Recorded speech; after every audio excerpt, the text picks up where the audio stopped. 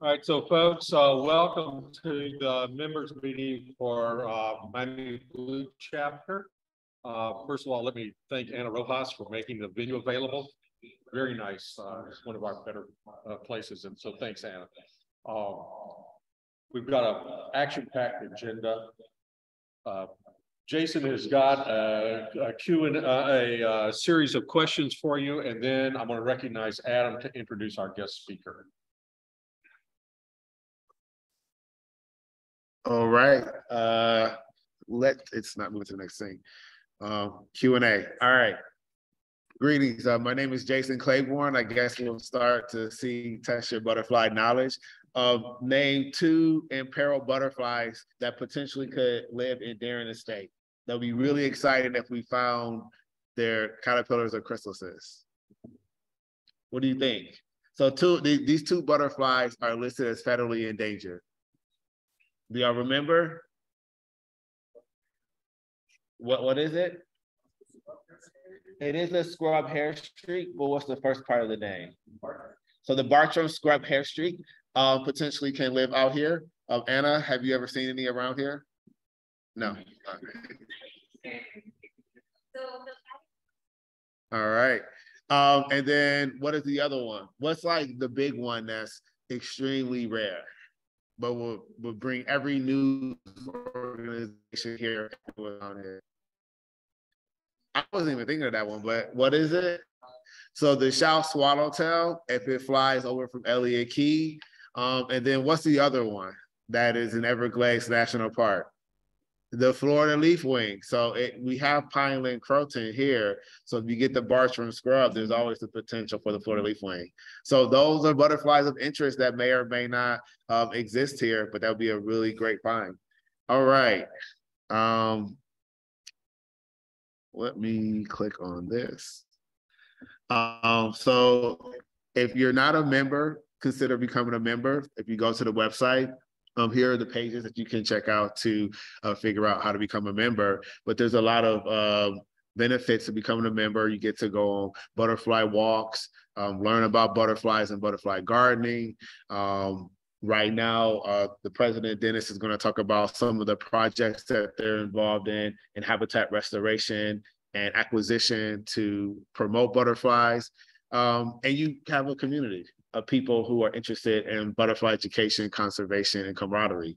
So here is the information which is available on the website, miamiblue.org. Just type in miamiblue.org and that'll access like everything. All right. So next up we have uh, Adam and he is going to introduce our guest speaker. Um, the microphone, the microphone is right if you want to use this one. Good afternoon, everyone. Our guest speaker today is Dr. Andy Davis. Andy is an assistant research scientist in the Odum School of Ecology that's at the University of Georgia. He is an animal ecologist with interest in migrations, ecophysiology, and functional morphology. And for the last 25 years, he has studied the famous monarch butterflies of North America. In particular, Andy's research on monarchs has focused on how their wing color helps them fly, how parasites affect their development, and how their migration affects their population.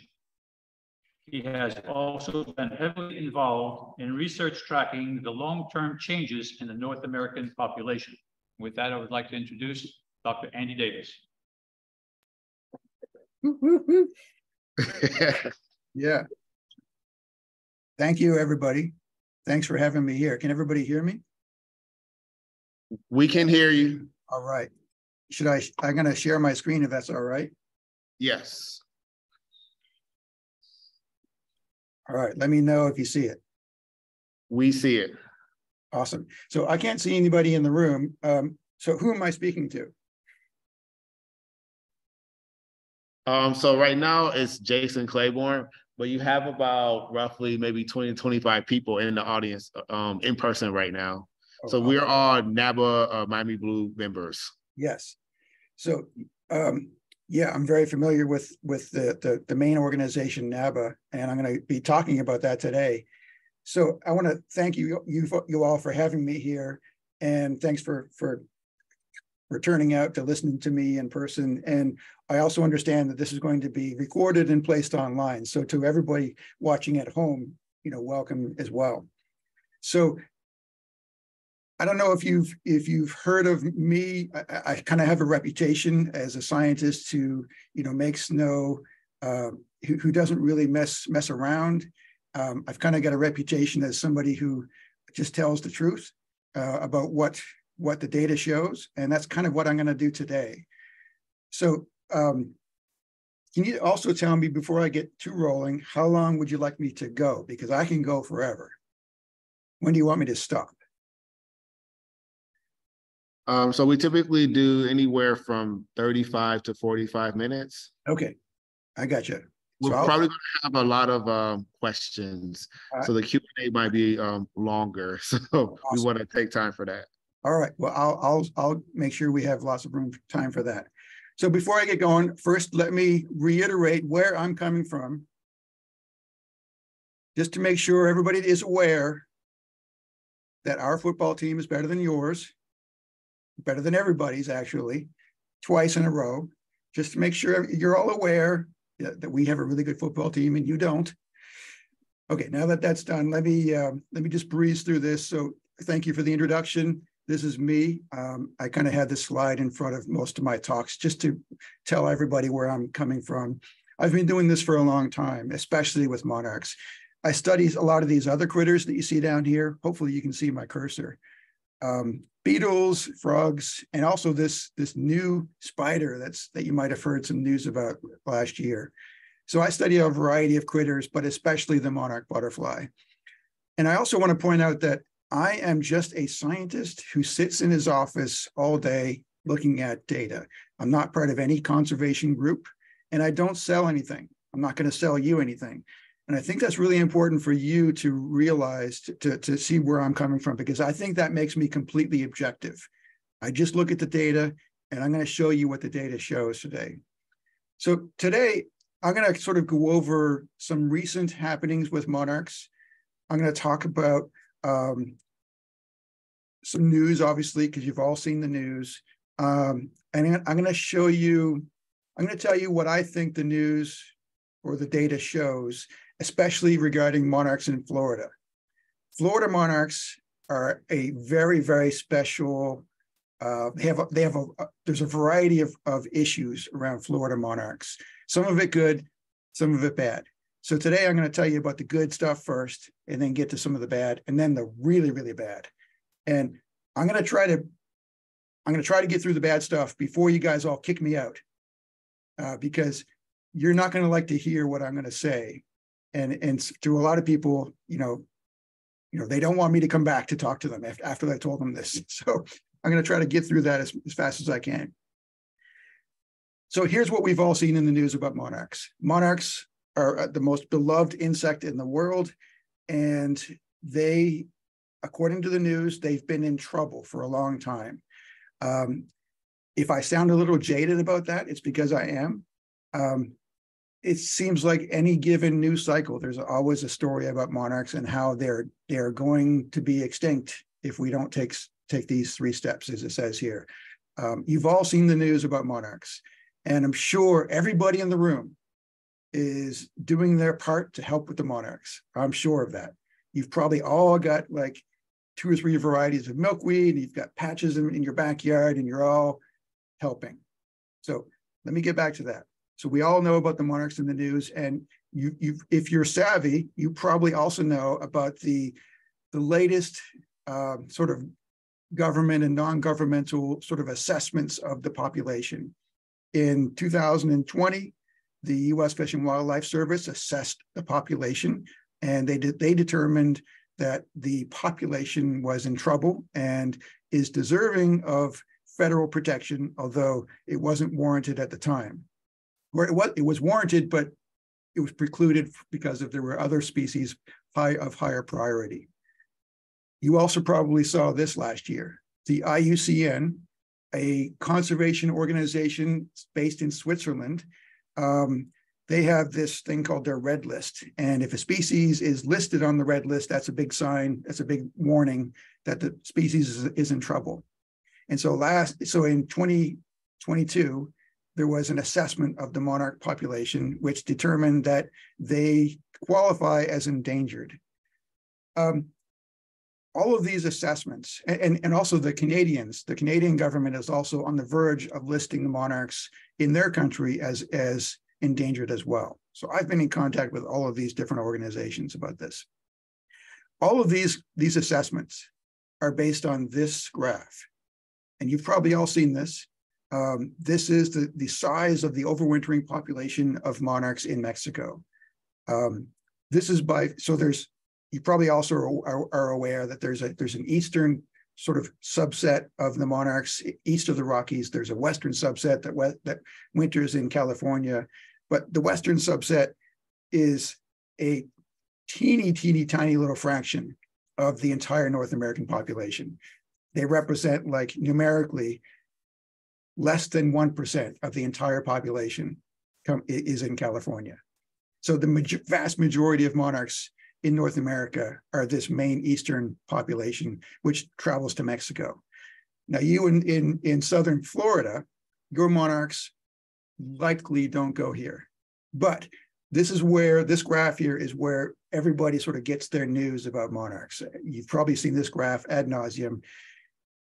If I sound jaded about this, it's because I am, because the entire assessment, the entire narrative about monarchs is that they're in trouble because there's fewer of them arriving at in Mexico every year, as you can see from this graph. This much is, is clear. The, the, the winter colonies are getting smaller. Now, I'm going to tell you some good news. And this good news comes from many different sources. Um, and I've participated in a lot of different projects over the years where myself and or people I work with have been trying to understand how the monarch population is doing elsewhere outside of the wintering colonies. And just to give you a, a sense of, of how much data, how much information there is, um, if you look to the right here, this is a table showing you all of the different data sets that there are that where that where there are people and organizations like yours that have been tracking the numbers of monarchs over the years. Some of these go back 20 years, some more, but just know that there's a lot of data out there besides the winter and colony data. And myself and others have looked at these numbers from the right-hand side here. And we've and if you look at, at, at publications that have been written on these numbers, you can see that there's a lot of different data sets out there that, that look that show the, the, the trends in the monarch numbers elsewhere kind of look like this. This is the number of monarchs seen at a migration census place in Cape May, New Jersey in the fall. So ups and downs, as you might expect for an insect, but no real long-term trend, no real long-term decline. Similarly, if you look at the size of the Canadian breeding range, this is from another publication, also no real long-term decline. Um, this is the number of monarchs, monarchs counted at a roost site in Ontario every fall. Lots of ups and downs, but no long-term decline. Basically, a lot of different data sets, not all of them, but like 90% of them show the same kind of pattern. Ups and downs, ups and downs, but no real long-term decline, right? It doesn't look like there's much room, much cause for concern here. But everybody always sees the winter colony numbers, right? That's, I bet you everybody in this room has never seen this graph, right? So there's a lot of different data sets like this. Knowing this, myself and a few other folks from UGA last year, these are two of the two of the gentlemen I work with, um, published this one very seminal paper um, it, that came out in a very, you know, high high profile journal global change biology. Myself and these two gentlemen here um, wanted to know what the long-term trends were of monarchs using your own, your data, the North American Butterfly Association data. And if you look, we, we even have Jeff, Jeff Glassberg as a co-author in the paper because of the importance of these data. So the guy in the middle there, that's Mike Crossley. He had been working uh, for a number of years with Jeff Glassberg using these data to understand um, the, the long-term patterns of a variety of different butterfly species. And so for this one paper here, we all got together and decided to do a, a very big, meaty paper looking at long-term trends in monarch abundance. Um, we used data from people just like you. This is a, a snapshot of some people doing a NABA survey in Virginia. And I'm sure everybody in the in the room today looks just like this. The I don't really need to tell the people in this room what a NABA survey looks like, but just if in case you're not aware for some reason, you all know that you, you get like a circle that you have to sort of uh, assess uh, uh, during during one or two days in the summer. Um, it's a really big circle. This is a circle from the Midwest, and you can have an, as many people as you want, uh, but you'd have to sort of keep track of how many people are watching. You record all the butterflies you see, and for our particular study, we just looked at all of the data from monarch butterflies from going back to the 1990, 1993. And there were all told 135,000 records of monarchs that we scoured through. Not me, Mike, poor Mike had to do this, but uh, just know that it was a it was a phenomenal, massive data set where and it, and it spanned the entire country, really, and including some of Canada. These are all NABA, NABA count circles. This is taken directly from the NABA um, website. And in each one of these circles, there are people watching for butterflies, just like yourselves. And so just know that this is probably the biggest assessment of monarch butterfly populations, of the breeding population to date. Um, and so our goal here was to just simply look at the data and see, it, are the numbers going up or down? Because we all know that they're going down in Mexico. Here's my cursor down here. We know that they're going down here. But as I pointed out before, there's also these places around the country where long-term surveys haven't really shown declines. And so our goal here was to put it all together in one gigantic, gigantic data set and see, okay, what's the really happening? So I'm going to cut right to the chase and show you the results. I'm, I'm going to skip over all the analyses, all the, the, the stats. It was it was crazy amount of work. And in, in reality, this project was in the works for a couple of years, actually. It just was published last year. I'm going to show you a map of all of the different monitoring sites. Each of these squares is a monitoring site, and it's color coded based on the trend in the monarch numbers. Blue means the trend is positive. Yellow and orange means it's negative. A highlighted blue means the trend was significantly positive, like really positive. And if you're looking close, you can see that the one place in the country where the trends were really, really positive was right, right where you are in Florida.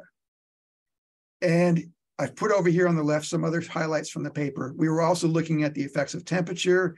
We were looking at the effects of, of Roundup crops, glyphosate use. Uh, we showed, and in the, in the end, you know, our, our paper showed that there were declines somewhere, some places, there were increases in other places.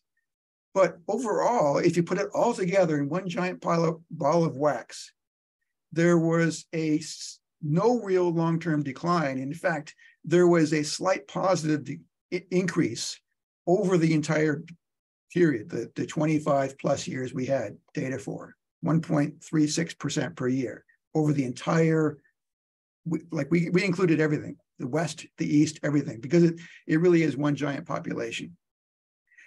And there were significant increases in Florida. So our paper basically showed that the breeding population of monarchs really isn't in trouble. The, and this is despite the declines that we see in Mexico. So our paper doesn't really show the declines in that the declines in Mexico are wrong. It but it shows that numerically speaking, we seem to have lots of monarchs in the summer. I mean, there's no shortage, I guess is, is, the, is the other way to put it. Um, there hasn't been a decline. There's been declines in some places, but increases in others. And I think to a lot of people, this was kind of a, a shocker because a lot of people see that graph in Mexico and they go, oh my God, the entire population is, is near collapse. But that's, that's not what our paper showed at all. So think about that. So the other thing I, I want to point out here, just that there's some other evidence that we have that sort of backs up what I'm showing you, what I'm telling you here. If you actually look at the size of the breeding range of monarchs in the entire country, and I did this once for a blog, this is a, a map where showing all of the sightings of monarch butterflies in, in, in the United States on the iNaturalist platform. You're probably all familiar with this platform. But for one exercise uh, last year, I, I made a map showing you where all the monarchs had been seen in the, in the United States in the last 10 years. And this gives you a good idea of what the breeding range of this species is. It's, it's really, you know, every state has monarchs in it. To give you a sense for how this compares to other species, other butterfly species, I, I did the same thing where I also made a map of the breeding range of the 60 most common butterflies in North America. And I graphed the size of the breeding range. I like I estimated the size of the breeding range from these maps, and I graphed where how the monarch compares to everybody to everybody else. And if you look close, the red bar here shows you where the size of the monarch's breeding range compared to everybody else. I mean, it's it's heads and tails bigger. These are the 60 most common butterfly species in North America right here. So the size of the breeding range. So the, the thing I want you to take home from this is that the size of the monarch breeding range is huge, absolutely huge. And this isn't historical data. This is data from the last 10 years. So right now we can say with certainty, monarchs have a bigger breeding range than everybody else. And remember what I said about the paper that, that just came out last year. The number, numerically speaking, their numbers in the breeding season have not declined. So this is why I, I think I'm jaded to all of these bad news stories, because numerically speaking, monarchs seem to be doing really, really well, especially in Florida. So um, yeah, so that's the good, the good news I want to tell you guys, right? And that seems like a great thing, right? It, you know, it, hey, it, they're not as in as much trouble as we all thought. Um, I can tell you from from experience, a lot of people think that this must be wrong, that something must be, because you've all heard over and over and over again how monarchs are in trouble, and I get this a lot. That and in fact, some people get mad at me for telling them the monarchs are doing great. People are like mad that that I tell them that that because they people have been saving monarchs for a long time. And I think that I, when I tell them this, that kind of bursts their bubble. But th this is really good news for monarchs. Okay, so that's the good. Now let's get to the bad. So I was also a, party to a, another project that, that was just published last year as well. And this is something that you folks in Florida really, really, really need to know about. You may have heard of it of a parasite that gets on monarchs. And this is a picture here of that parasite. That's somebody from my lab or maybe my wife's lab um, showing holding a butterfly, a monarch, and the, the blow up picture shows this parasite. It's called Ophryocystis elektroscirrha, or just OE for short. It's a protozoan, which means a single celled organism, and it infects monarchs. It's a naturally occurring parasite. It's probably been inf infecting them for eons, hundreds of years, maybe thousands. It's um, it's a parasite that has evolved with monarchs, basically everywhere in the, in the in the world where you see monarchs, you also find this parasite to varying levels. Um, so I want you to really pay attention now because you folks in Florida, this should be the only thing on your mind right now.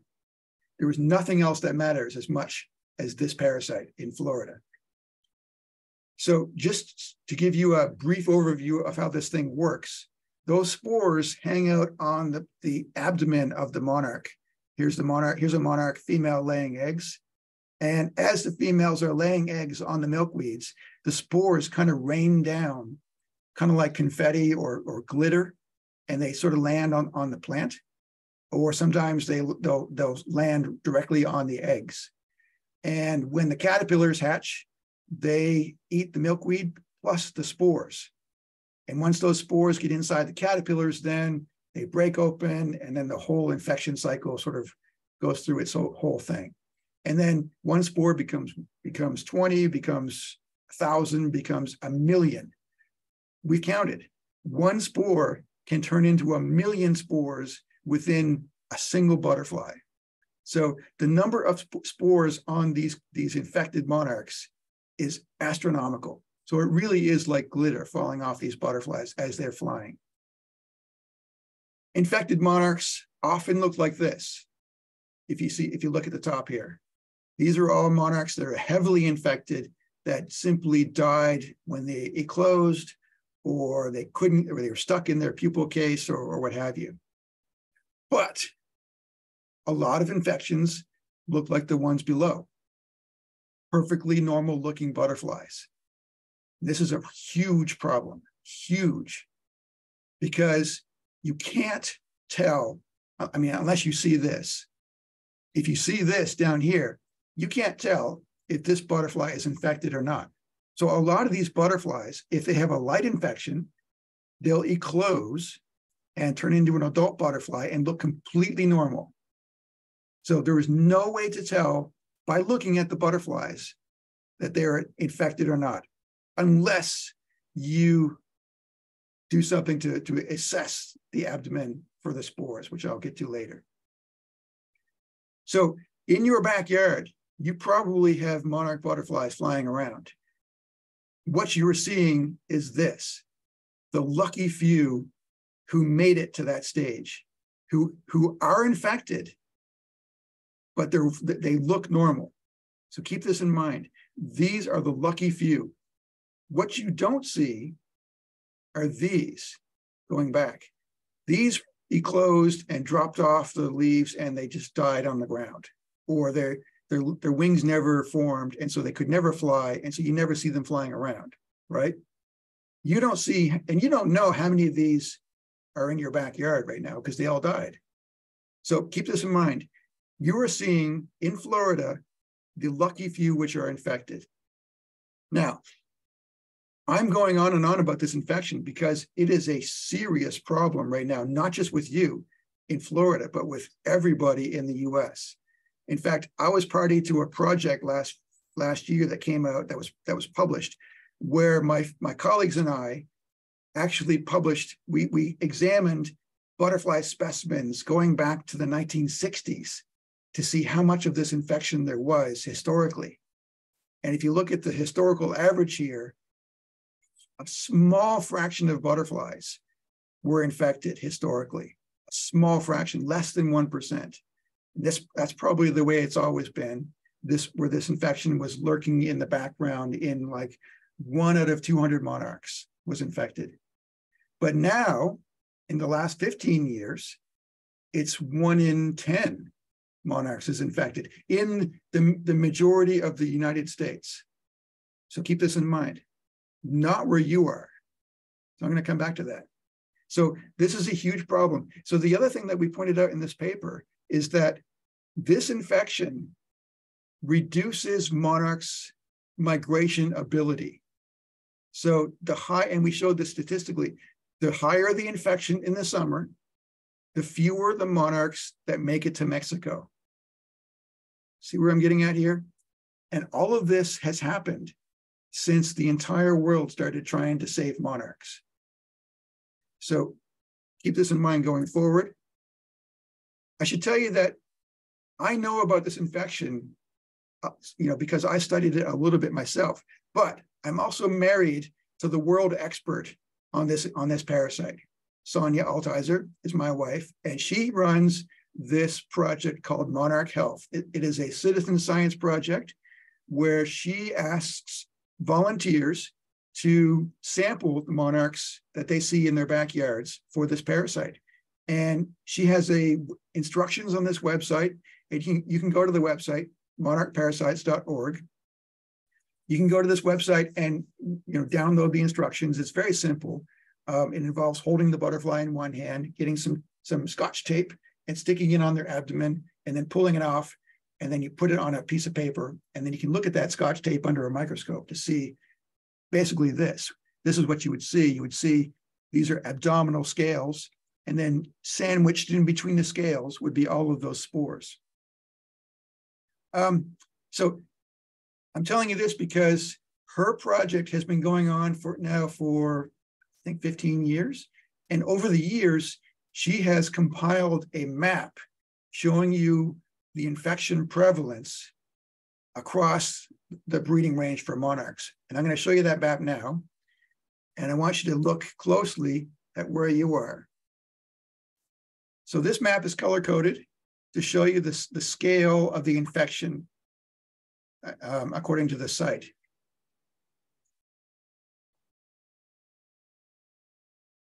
Whites mean very little infection and black means heavily, heavily infected. These are all based on those samples that people send to her team to examine. So there's a lot of data now, and we can draw some pretty good conclusions now about what the infection prevalence is across the country, and we can see different regions of that are hotspots. And you, I, know, I know you're all looking at it, you, and you can see Florida, right? Florida, and here's a blow up. Florida is a hotspot where infection prevalence is through the roof. And so I don't want you to sort of look at to find your home and your town here because it doesn't really matter. There's so much there's so much infection in Florida that it doesn't really matter where you live anymore in Florida. That every all of the monarchs that you see flying around are carrying spores in them. It never used to look like this. Remember the graph I showed you of historical prevalence? Let me go back up here. So if, if this if this map were made 30, 40 years ago, all of these dots would be white. That's how things have changed in the last 15 years. 40 years ago, I know, I know I've read actual studies from researchers who have been in Florida, and they don't report huge percentages of infections in, in Florida. In fact, there's they don't report a whole lot of, of much of anything of significance in Florida. Um, so a lot of this in Florida is is sort of new, mostly because of our influence, in, uh, our human influence. I mean, we've always known that in in Miami, in south of Miami, there has been a um, a non-migratory monarch population that was heavily infected. But it used to be there was only Miami, and now it's the entire state. And I also collaborate with, collaborate with some people in South Georgia, and we also know in South Georgia, the infection prevalence is also through the roof as well. So this zone of infection intensity is spreading outward from you, from you, from Florida. So and but there's also some other, let me go back, back here. There's also some other clear infection zones. South, South uh, California, Southern California is one. Houston, Southern Texas is another. A few other places here and there. Anyway, infection prevalence is high, especially where you are. Where you are, it's it's it's over 75% probably something like 90 to 95%. Basically, every butterfly you see flying around in Florida is carrying spores to some degree. So that's the really bad. That's that's not the really bad. That's just the bad. So so hang on to your butts. So there's a variety of reasons for why this might be happening in Florida and why it's getting worse. One is because of non-native tropical milkweed, which you're probably all familiar with. Um, this milkweed has a lot of problems. Um, there's a lot of research on this, this milkweed that shows it has problems. Anyone who tells you otherwise is, is misinformed. I've done some of the research. I've re- I've examined all of the research. It all shows the same thing. This this milkweed harbors the OE parasite more so than other milkweeds. Um, it also enhances or it tends to promote non-migratoriness in monarchs or residency, which also then um, helps to enhance the parasite. People are also raising monarchs in their homes. This is a great way to spread this infection to other butterflies. And if you're doing this, you could be uh, unknowingly contributing to this, this parasite. Even if, even in Florida, if you go through all of the various steps that you can take to try to keep OE at bay while you're rearing monarchs. Like if you go through all the steps to try to release a healthy monarch into Florida, you are still promoting the OE infection. Because think about it a healthy monarch, especially a female, if you release a healthy female into Florida, it's going to lay its eggs on milkweed that is contaminated with OE. So that healthy monarch is going to have lots and lots of infected babies. So even producing healthy butterflies in Florida is not helping. So that's that's kind of the bad. Okay, take a breath. Now I'm going to get to the really, really bad. I, I kind of already did. The really ugly truth in Florida, especially where you are, is that is this here. Even native milkweed is covered in OE spores in Florida. So swapping out your tropical milkweed, your, your, your other non-native milkweed for natives is still not helping. It'll, it'll help a little bit, a little bit. But if you think about how, like, if you had a, if you had a, a, a, a clean milkweed that you grew in a greenhouse and you put it out in your backyard in Florida, how long does it take before a monarch butterfly visits it? A couple of days, right? So and that butterfly is infected. So cutting back your milkweed, replacing with, with natives, all of that, you know, it, it helps in the main North American population, you know, where infection prevalence isn't as bad as where it is where, where you. But where you are, it's so bad that every milkweed in Florida is helping to produce infected babies. Everyone. And so this is the ugly truth with Florida that that and I, I have it here in big bold letters so you all know all of your backyard milkweed is leading to OE infections. Now, to be fair, some of this has always been the case in southern Florida, southern Florida, like the extreme South Florida, but now it's basically the entire state where, where this is happening.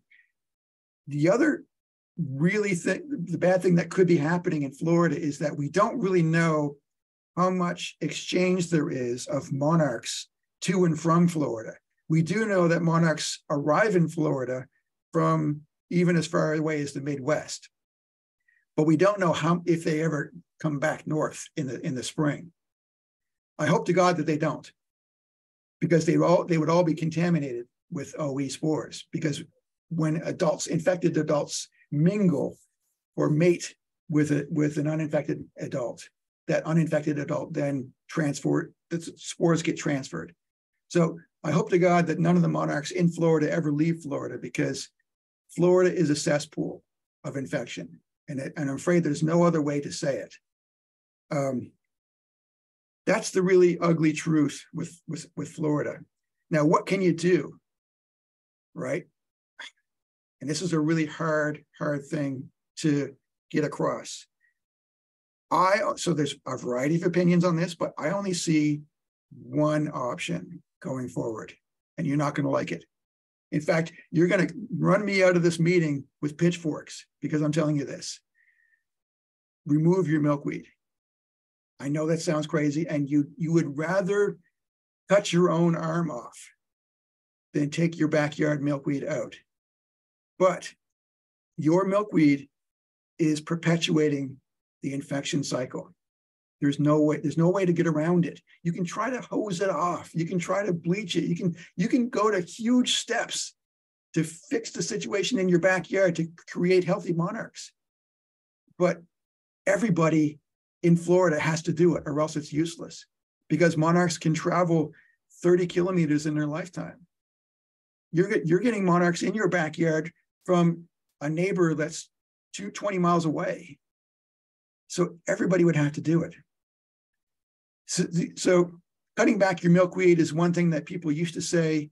Um, I think that's just the make yourself feel better option because it really it's not really fixing the problem. It's it's more like a band-aid. So the only thing I see that can help you sleep at night is if you take your milkweed out of the of the equation. You have lots of butterfly uh, nectar plants, you know, promote butterflies in general. You've got you've got lots of of butterflies in Florida and some that are really in trouble, right? The monarch isn't. Remember what I said about the, the, the numbers. Numerically speaking, monarchs in Florida are doing really, really well. But there, so is the infection. And that's the, the rub. That's the, the hard, there's no way to get around that, unfortunately. Okay, so now that I've destroyed you, let me just sum up here and I'll, I'll, I'll maybe I can answer a couple of questions here and you know hopefully people won't get too mad at me but really i'm just telling you what the data shows. Numerically speaking the butterfly the monarchs are not in trouble despite what you've heard. They're actually increasing. Oe infections are, are on the rise especially in florida especially in places where they don't migrate. All milkweed in florida everything whether it's giant milkweed or swan milkweed or whatever you want it's all covered in OE spores because there is so many infected monarchs flying around dropping their spores. Okay, so if you wanted to know, to know more information about everything I just covered here, feel free to look at my blog. I have a personal blog called monarchscience.org where I, on a monthly basis, I will uh, explain everything I just told you I'll, what I do is I, I look at recent scientific studies and I sort of explain them in layperson's terms. And every every month I do a different study, and it's a way to sort of for me to convey the science to the to the lay people. Um, you can also participate in my wife's project if you wanted to know more about the OE infection, because as I said, you folks in Florida really really need to be experts in this OE infection because there's nothing else that matters in Florida.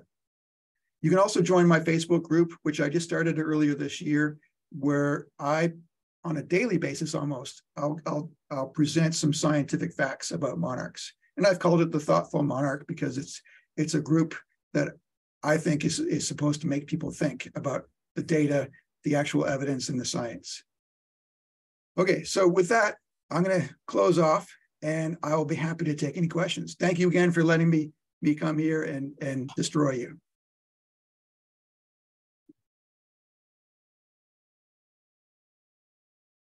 All right, they they're they're clapping in the background. So what we're gonna do is have people walk up. So there might be a delay uh between questions. All right. So let's start with people uh No, no, start here. online. Okay. No, no. So um if you have a question, you actually have to come up here.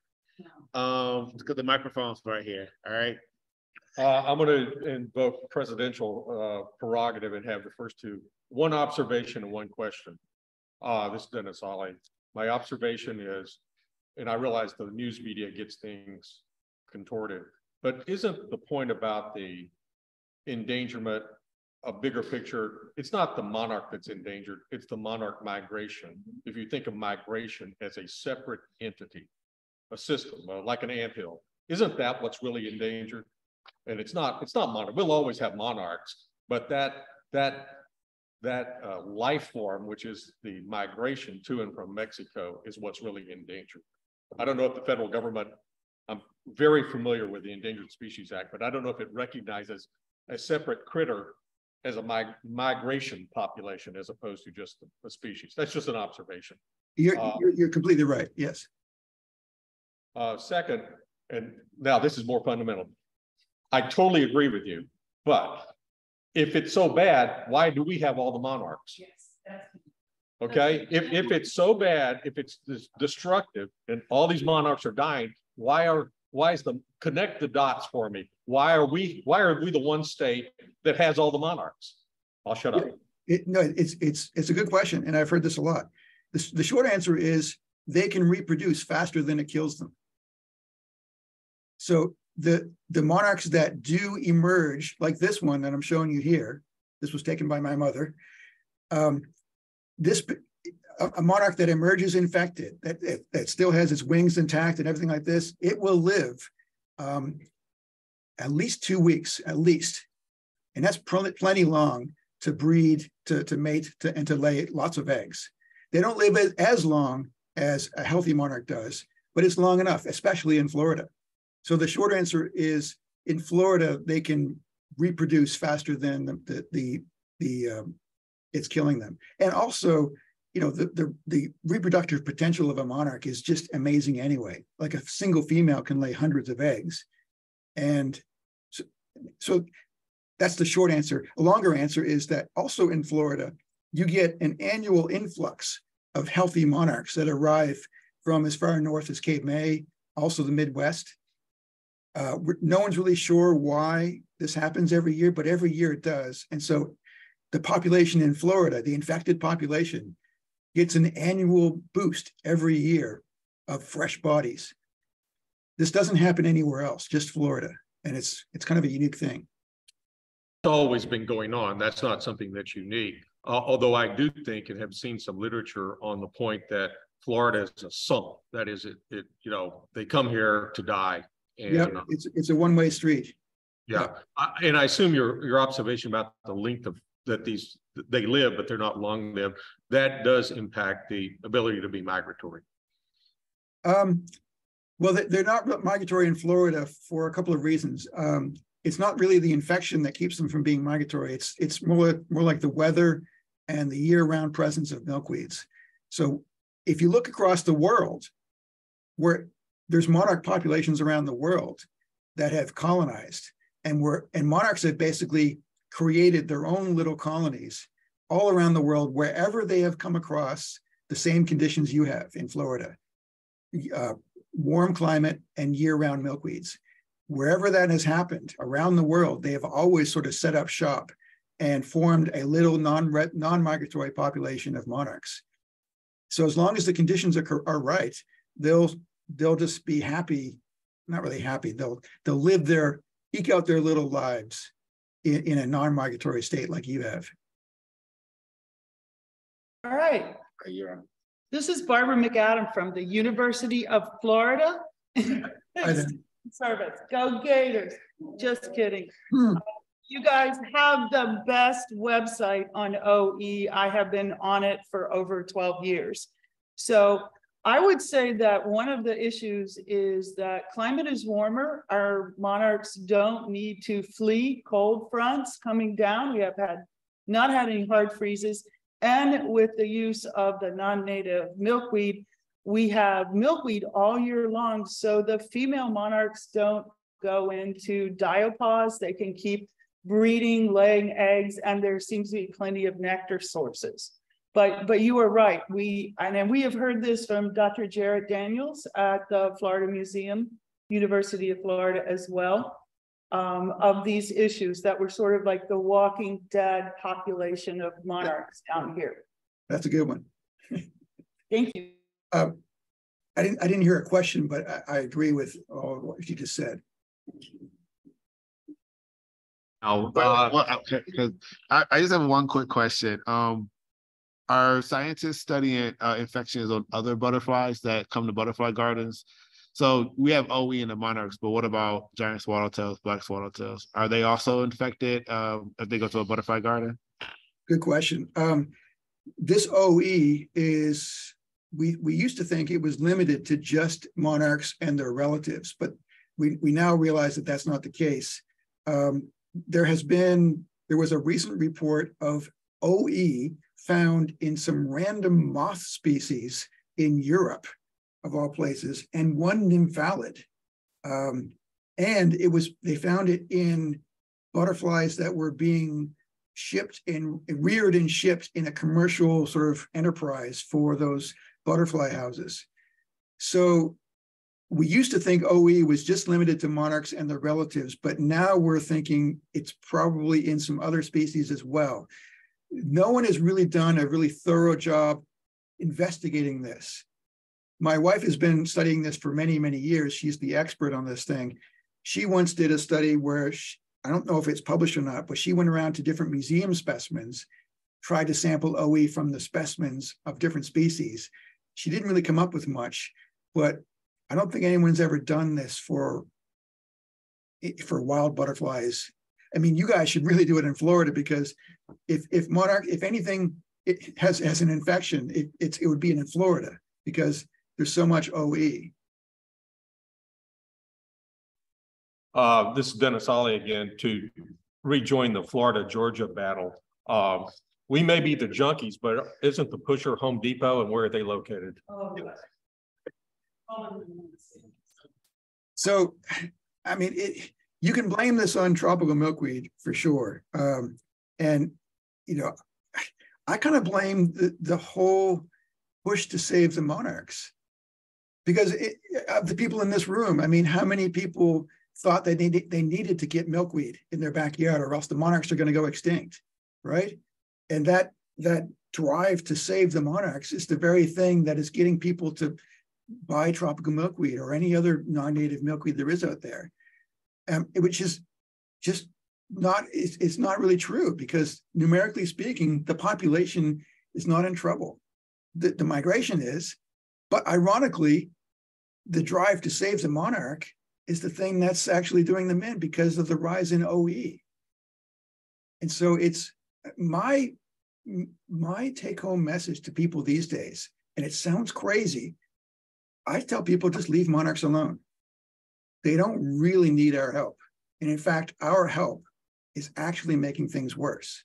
It, that's, I know it sounds crazy and it's against everything you've heard from everybody in the world, but that's what I'm that's what the data show, show tell me.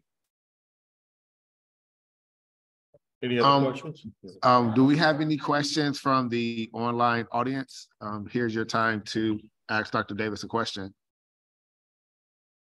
Just turn your mic on. Uh, I, I have a quick question. This is uh, Terry from Palm Beach County. When the female is laying the eggs, that is when the spores that are on her abdomen are being dispersed either on the egg, on the egg and on the plant. So would is if they're heavily infected with those spores also contaminate other plants around her or in the mulch? it, uh, would they be contaminating nectar plants that they're not laying eggs on? Yes. Short short answer is yes. They every think of it as as like a like a, like glitter falling from from from your hand. If you had a handful of glitter in your hand and you and you basically just shook it like this, everything beneath your hand would be in would now have spores. Um, I, mentioned I mentioned this also, like when an uninfected butterfly mates with an infected butterfly, just mates, there is some transfer of spores. And so that formerly uninfected butterfly then goes away carrying spores, that butterfly is not technically infected itself, but it still has enough spores to then drop its uh, when it when it does its thing as well. So it really is like glitter and it's on everything.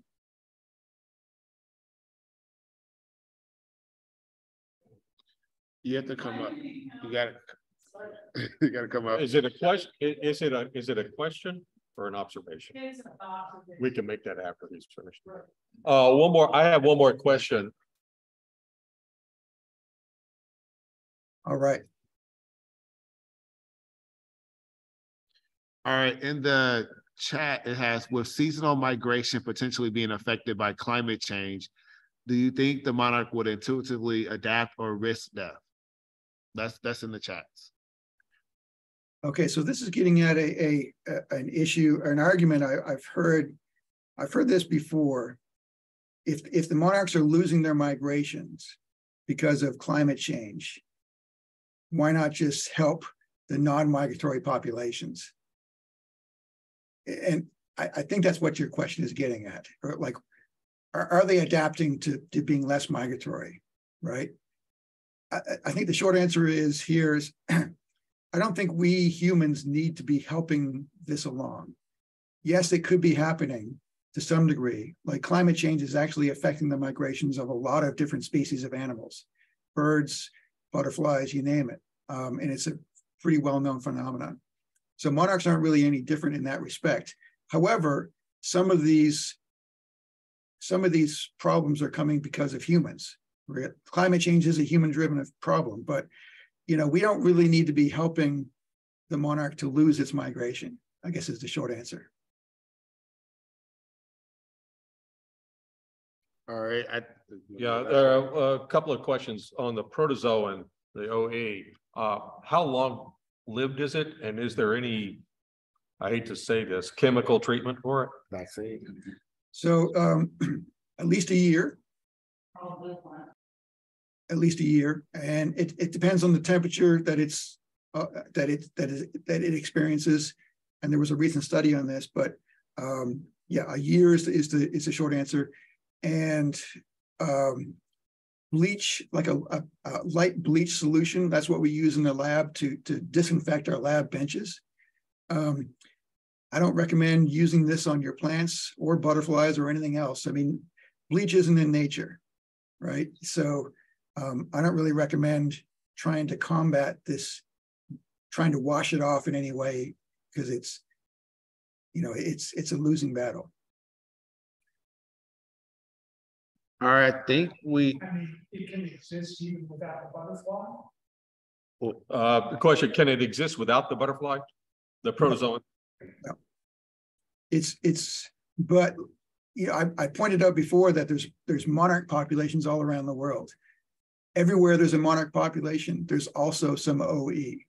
So OE isn't an endangered species in any any any any means at all. Um, so but but the short answer is no. And there's also some some infections in like some some related species too of the monarch, like the soldiers, uh, the queens. They they also get the get the, get the infection as well, but to a lesser degree. So OEs is a naturally occurring parasite. It's not going anywhere. It's been with monarchs for for many many years. Um, it it just sort of seems like we are helping to promote it here. I want to thank you guys while I still have the mic to for allowing me to come here and uh, and sharing the science. And please do sign up with to uh, get get get my blog or or sign up to the Facebook group, and you can hear more sort of this the real truths the way I, and the way I the way I convey them as well. But thank you again for letting me come here. All right, thank you, Dr. Davis. All right, I'm gonna stop sharing and I'll uh, leave the room before the pitchforks forks come out. Thank you. All right, thank you. We appreciate your time. Bye-bye now. All right. Barbara.